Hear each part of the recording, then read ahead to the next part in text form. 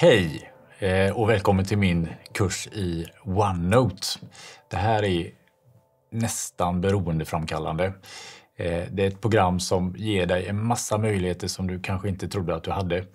Eh, I utbildningen så kommer vi att kika på dels hur vi sätter upp en OneNote, dels för sig själv och dels gemensamma OneNotes. Och eh, vi kommer titta på de absolut viktigaste funktionerna som du behöver kunna för att bli effektiv i OneNote. Så häng med!